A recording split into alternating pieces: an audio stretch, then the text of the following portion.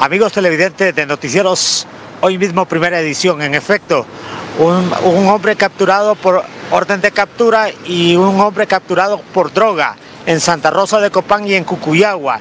Hemos dialogado con el eh, oficial Gaitán de la policía, quien nos detalla sobre estas dos detenciones que se han realizado en allanamientos en la operación Bienestar que realiza la policía a nivel nacional. Bueno, subcomisario Gaitán aquí en Santa Rosa de Copán y también Cucuyagua se han dado diferentes capturas mediante eh, denuncia y allanamiento. Buenos días. Sí, la Policía Nacional ha realizado operaciones en lo que es eh, Santa Rosa de Copán y Cucuyagua, eh, obteniendo resultados positivos. En, en, Cucuyagua se tuvo una persona eh, por tráfico de droga y en Santa Rosa por orden de captura. La Policía Nacional está realizando operaciones a nivel nacional, 24-7, los 7 días de la semana, ¿va? para darle respuesta a la sociedad y capturar todos los malhechores que anden cometiendo delitos. Esta persona capturada en Cucuyagua, Copán, ¿qué se le ha decomisado? Eh, se le ha decomisado supuesta cocaína, es 22 envoltorios de supuesta cocaína. Esta persona que en la de Copán, eh, ¿cuál fue el delito cometido por parte de él? Bueno, es una orden de captura eh, por, por, mal, por maltrato y por transgresión de medidas. La Policía Nacional 24-7 está trabajando para darle captura a todas las personas que andan cometiendo ilícitos. ¿Se seguirá haciendo estos allanamientos aquí en San de Copán o siguen algunos en proceso?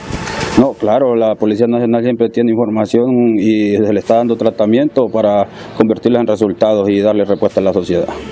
Bueno, por otra parte, el tema de vialidad y transporte, ¿cómo está manejando lo que es el tema de licencias aquí todavía?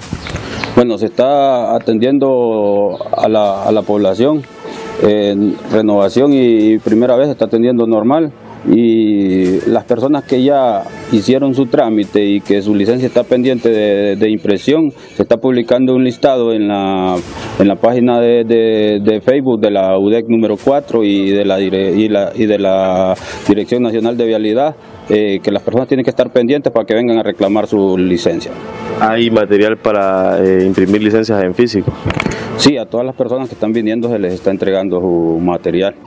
Lo que son accidentes se han dado o han eh, bajado en lo que es este mes.